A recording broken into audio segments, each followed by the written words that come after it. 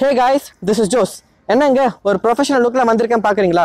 இப்போ நான் பேச போகிறதும் நம்ம ப்ரொஃபஷன் ரிலேட்டடான ஒரு டாபிக் தான். இரண்டாயிரத்தி முப்பதுக்குள்ள ஆர்டிஃபிஷியல் இன்டெலிஜென்ஸ் அதாவது செயற்கை நுண்ணறிவு உலகளவில் எயிட் ஹண்ட்ரட் மில்லியன் தொழிலாளர்களோட வேலைகளை மாற்றப் போகிறதுன்னு புள்ளி விவரம் அறிவிக்கப்பட்டிருக்காங்க. இதனால் எதிர்கால வேலைகள் குறித்து பலவர் மனதில் ஒரு கேள்வி எடுத்திருக்காங்க. இன்னும் பத்துலேருந்து பதினஞ்சு வருஷத்துக்குள்ள என்ன மாதிரியான வேலை மாற்றங்களை எதிர்பார்க்கலாம்? அந்த வேலை மாற்றத்தை எதிர்கொள்ள என்ன மாதிரியான கல்வி முறைகளை நம்ம அறிமுகப்படுத்தலாம்னு என்னோட பர்சனலான கருத்துக்களை தான் இந்த வீடியோவில் நம்ம பார்க்க போகிறோம் ஒரு பயன்படுத்தும் உண்மை என்னன்னா இரண்டாயிரத்தி இருபத்தி ரெண்டாம் ஆண்டில் இந்தியாவில் ரெண்டு புள்ளி மூணு மில்லியன் கேள்விப்படாத புதிய வேலைகளை அறிமுகப்படுத்த போகிறாங்க மற்றும் ஒன்று புள்ளி எட்டு மில்லியன் தற்போதைய வேலைகளை அகற்ற போகிறாங்க ஸோ ஆர்டிஃபிஷியல் இன்டெலிஜென்ஸ்னால என்ன மாதிரியான வேலைகளை அறிமுகப்படுத்த போகிறாங்க மற்றும் என்ன மாதிரியான வேலைகளை அகற்ற போகிறாங்கன்னு தெரிஞ்சுக்க ஒரு சின்ன கம்பேரிசன் அதாவது மனிதனோட அறிவின் ஆற்றலையும் செயற்கை அறிவின் ஆற்றலையும் கம்பேர் பண்ணி பார்க்க போறோங்க. முதலாவது அவேர்னஸ் அதாவது விழிப்புணர்வு அப்படின்னு நம்ம சொல்றோம். இப்போ நீங்க உயிரோட இருக்கீங்கன்னு உணர்வதற்கான காரணம் என்னன்னு பாத்தீங்கன்னா உங்கள் உடலில் செயல்பட்டு வரும் அந்த அஞ்சு உணர்வு உறுப்புகள் அதாவது அஞ்சு சென்ஸ் ஆர்கன்ஸ்னால தாங்க. அந்த அஞ்சு சென்ஸ் ஆர்கன்ஸ் சேகரிக்கிற காட்சி செவி வழி தொடுதல் சுவை மற்றும் வாசம் சிக்னல்னால தான் இப்போ ஒரு தற்போதைய விழிப்புணர்வு உங்களுக்கு இருக்கு நம்ம சொல்றோம். அந்த அஞ்சு சென்சரி ஆர்கன்ஸ் எவ்வளவு சிறப்பா செயல்படுதுன்னு ஒரு அடிப்படையில தான் நம்ம ஒரு சுச்சுவேஷன்ல எவ்வளவு அவேரா இருக்கும் நம்ம சொல்றோம். ஆனால் ஆர்டிஃபிஷியல் இன்டெலிஜென்ஸ்க்கு நம்மளோட அஞ்சு சென்சரி ஆர்கன்ஸ் சேகரிக்கிற விஷயத்த சென்சார்ஸ் அண்ட் கேமரா மூலியமா நம்மளோட மிக துல்லியமாக சேகரிக்க முடியுங்க சிம்பிளா சொன்னோம்னா எதிர்காலத்துல விழிப்புணர்வு சான்ற வேலைகளெல்லாம் ஆர்டிஃபிஷியல் இன்டெலிஜென்ஸ் மிக எளிமையாக டேக் ஓவர் பண்ணிடும். ஒரு செக்யூரிட்டி ஆஃபீஸர்களோட கையோட அந்த செக்யூரிட்டி ஆஃபீஸர் கையில வச்சிருக்க மெட்டல் டிடெக்டர் தாங்க ரொம்ப நம்புறாங்க. ஒரு வாட்ச்மேனோட நம்ம ஒரு சிசிடிவி கேமராவை தான் அதிகமாக நம்புறோம். ஏன்னா அந்த சிசிடிவி கேமரா ஒருபோதும் சோர்வடையாது. இரண்டாவது என்னன்னு பார்த்தீங்கன்னா மனுஷங்களோட அந்த அஞ்சு சென்சை சிக்னல் சேகரிக்கிற விஷயங்கள் வச்சு நம்ம மைண்ட்ல ஒரு படத்தை கிரியேட் பண்ணி அந்த இமேஜை நமக்கு அனலைஸ் பண்ண முடியும். எதன் அடிப்படையில் அனலைஸ் பண்ண முடியும் அப்படின்னு பார்த்தீங்கன்னா அவங்களோட கடந்த கால நினைவுகள் அவங்க காலேஜில் படித்த டிகிரி நாலேஜ் ஸ்கூலில் படித்த டெக்ஸ்ட் புக்ஸ் நாலேஜ் அப்பா அம்மா சொல்லி கொடுத்த குணங்கள் சிம்பிளாக சொல்லணும்னா பிறந்தல இருந்து அவங்களுக்கு அவங்க அவங்க மைண்டில் ஸ்டோர் பண்ணி வச்சிருக்க டேட்டா வச்சு தான் அவங்க இந்த இமேஜை அனலைஸ் பண்ணுவாங்க. நீங்க ஒரு கார் ஓட்டிட்டு இருக்கீங்க அப்படின்னு நினைச்சுக்கோங்க. எதிர்க்க ஒரு கார் வந்துச்சுன்னா நீங்க எப்பயோ ஸ்டோர் பண்ணி வச்சிருக்க டேட்டா சொல்லும். அதாவது எதிர்க்க வர கார் என்ன இடிச்சதுன்னா விபத்து நேரிடும். அதனால அந்த பயத்தினால நம்ம ஸ்டீரிங்கை டிவேட் பண்ணி நம்மளை காப்பாத்திப்போம். ஒரு ஃபேக்ட் என்னன்னா இந்த part of intelligence already artificial intelligence கிட்ட இருக்குங்க. இருபது வருஷம் கல்வியில நம்ம படிச்சு ஸ்டோர் பண்ண விஷயங்களை ஒரு ஒன் டிபி ஹார்ட் டிஸ்க் இருபது நிமிஷத்துல பண்ணிட்டு போயிடுங்க.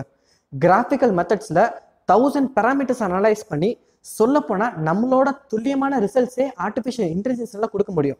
ஒரு மிக சிறந்த உதாரணம் தான் டிரைவர்லெஸ் கார்ஸ் முன்னாடி எப்படி ஒரு மனுஷன் ஒரு சுச்சுவேஷனை அனலைஸ் பண்ணி ஒரு டிசிஷன் எடுப்பா நம்ம பார்த்தோம். பட் இப்போ அந்த வேலையை பண்ண ஒரு ஆர்டிஃபிஷியல் இன்டெலிஜென்ஸ் காரே வந்திருக்கு. ஒரு சோகமான உண்மை என்னன்னா ஸ்டடீஸ்னு பேரில் இப்போ நம்மளும் ஒரு ஸ்டோரேஜ் டிவைஸாக தான் மாறிட்டு வரும். அண்ட் ஒரு ஆர்டிஃபிஷியல் இன்டெலிஜென்ஸ்க்கு இதை நம்மளோட சிறந்ததாகவே பண்ண முடியும்.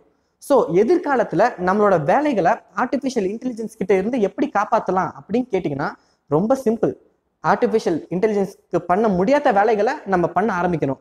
அண்ட் அந்த ஸ்கில்ஸை ட்ரெயின் பண்ண நம்மளோட கல்வி முறையும் நமக்கு கற்றுக் கொடுக்கணும். ஸோ அது எந்த மாதிரியான ஸ்கில்ஸ் அப்படின்னு நம்ம இப்போ பார்க்க போகிறோம் first one subconscious mind doctor APJ Abdul Kalam அவர்கள் ட்ரீம் ட்ரீம்னு சொன்னதுக்கான அர்த்தம் சப்கான்ஷியஸ் மைண்ட் தான்னு எத்தனை பேருக்கு தெரியும்? நியூட்டன் அவர்களோட தலையில ஆப்பிள் விழும்பொழுது அவரோட சப்கான்சியஸ் மைண்ட் தான் ஏன் அந்த ஆப்பிள் அவரோட தலையில விழுந்ததுன்னு யோசிக்க வச்சுது? வை வென் வாட் எப்படி எதற்கு? இந்த மாதிரியான கேள்விகள் கேட்குற பழக்கம் நம்மளோட சொசைட்டில குறைஞ்சிக்கிட்டே வருது. ஆர்டிஃபிஷியல் இன்டெலிஜென்ஸ் காட்டிலும் நம்மளை பெருசா காட்டுற ஒரு விஷயத்து மேல நம்ம எவ்வளவு முக்கியத்துவம் கொடுக்கணும்னு நான் சொல்ற அவசியம் இல்லைங்க. அடுத்து ட்ரஸ்வர்த்தி தகுதியான நம்பிக்கை அப்படின்னு சொல்லுவாங்க. டெக்னாலஜி ஹேக்கிங் இதை பற்றியெல்லாம் நீங்கள் நிறைய கேள்விப்பட்டிருப்பீங்க. ஒரு உதாரணம் நான் சொல்கிறேன் உங்கள் வீட்டில் உங்கள் அம்மாவுக்கு உடம்பு சரியில்லைன்னா அவங்கள பார்த்துக்க ஒரு தகுதியான மருத்துவரை தேர்ந்தெடுப்பீங்களா? இல்லை ஒரு ப்ரோக்ராம் பண்ண மஷினை தேர்ந்தெடுப்பீங்களா?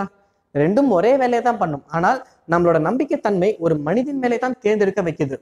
ஒரு வெளிப்படையான உண்மை என்னன்னா மனிதர்களுக்கு நடுவில் இருக்க அந்த நம்பிக்கைத்தன்மை இன்றைய காலத்தில் மெதுவாக குறைஞ்சிக்கிட்டே வருது.